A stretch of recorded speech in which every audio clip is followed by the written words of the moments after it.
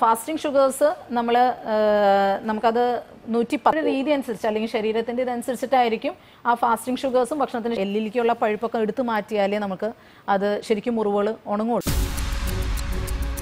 ഞാൻ ആലപ്പുഴയിൽ നിന്നാണ്. ആലപ്പുഴ ജില്ല ചെങ്ങന്നൂരുണ്ട് എനിക്ക് അമ്പത്തിമൂന്ന് വയസ്സുണ്ട്. ഞാൻ പന്ത്രണ്ട് പന്ത്രണ്ട് വർഷമായിട്ട് ഷുഗറിനുള്ള മരുന്ന് കഴിക്കുന്നുണ്ട്. ഓക്കെ. ആ ഇപ്പോഴെനിക്ക് കൺട്രോളൊക്കെ ആണെങ്കിലും പാസിങ് നോക്കുമ്പോൾ ഒരു നൂറ്റി നാൽപ്പത് മേലൊക്കെ വരുന്നുണ്ട്. ആ. ഭക്ഷണത്തിന് ശേഷമുള്ളത് നോർമൽ ആ അത് നോർമലായിട്ട് വരുന്നുണ്ട്. ആ എന്താണ് രാത്രി കഴിക്കണേ? ആ രാത്രിയിൽ അങ്ങനെ ചപ്പാത്തി സ്ഥിരമായിട്ടില്ല. ഇടയ്ക്കുണ്ട്. അല്ല അരിയാഹാരം ദോശയോ ഇഡലി അതുപോലുള്ള ആഹാരം കഴിക്കും. അത് അല്ല ആഹാരങ്ങളാണ് കഴിക്കണത് അല്ലേ? ഗുളികകളാണോ ഇൻസുലിൻ ആണോ എടുത്തോണ്ടിരിക്കണേ?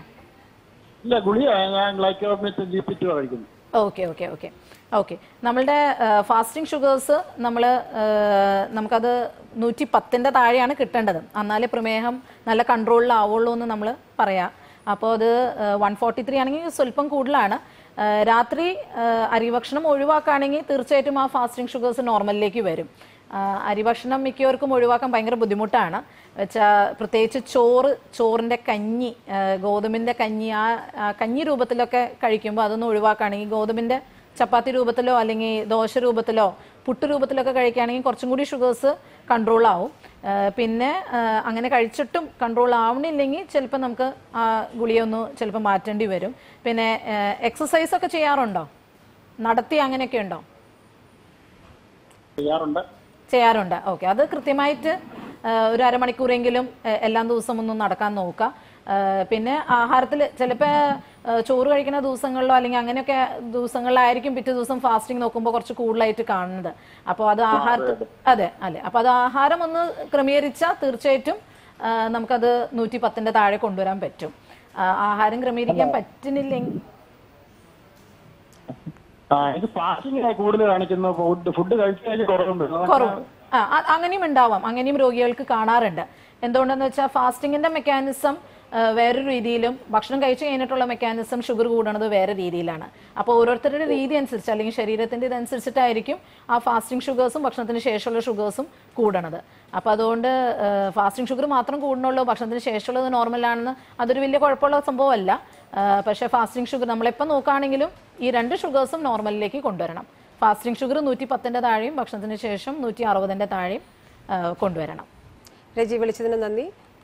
മാഡം നമ്മുടെ സമയം തീരുകയാണ്. നമുക്കിതിന് ശസ്ത്രക്രിയയുടെ ഒരു ആവശ്യം വരുന്നത് എപ്പോഴാണ് അല്ലെങ്കിൽ കാൽ മുറിച്ചു മാറ്റേണ്ട ഒരു സാഹചര്യത്തെ പറ്റി പറഞ്ഞു കേൾക്കാറുണ്ട്. അതേപ്പറ്റി കൂടി ഒന്ന് വിശദം അതെ അതെ ശസ്ത്രക്രിയ വേണ്ടി വരുന്നത് എന്താന്ന് വെച്ചാൽ നമ്മൾക്ക് സാധാരണ രീതിയിൽ ഇപ്പം ചെറിയൊരു മുറിവാണെങ്കിലും പോലും ഞാൻ ഈ മുമ്പ് പറഞ്ഞ പോലെ ന്യൂറോപ്പതി ഉള്ള ആൾക്കാർക്ക് ഈ അവർ ആ സെൻസേഷൻസ് ഇല്ലാത്ത കാരണം ആ മുറിവുകൾ ഉണങ്ങാൻ ഭയങ്കര താമസമാണ്.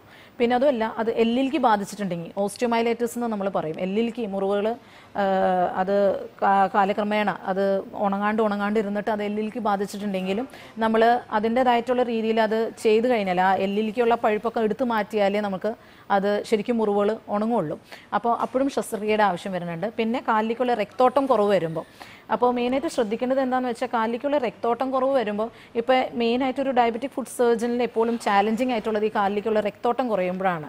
വെച്ചാൽ സാധാരണ ഒരാൾക്ക് മുറിവ് വരുമ്പോൾ അല്ലെങ്കിൽ പ്രമേയ രോഗികൾക്ക് മുറിവ് വരുമ്പോൾ രക്തോട്ടം ഉണ്ടെങ്കിൽ നമുക്ക് ഒരു ഭയങ്കര ധൈര്യമാണ്. ആ മുറിവ് എന്തായാലും ഉണങ്ങും. പക്ഷേ രക്തോട്ടം കുറയുമ്പോഴാണ് നമുക്ക് അതിന്റെതായിട്ടുള്ള ഒരു ബുദ്ധിമുട്ടുകൾ വരുന്നത്. വെച്ച് ചെറിയൊരു മുറിവായിരിക്കും. പക്ഷേ പറയുമ്പോൾ ചെറിയൊരു മുറിവായിട്ട് വന്നു കാൽ മുറിക്കേണ്ട അവസ്ഥയിലേക്ക് പോയി എന്നുള്ള രീതിയിലാണ്. അത് ഭയങ്കര ഒരു ദയനീയമായിട്ടുള്ളൊരു സ്ഥിതിയാണ്.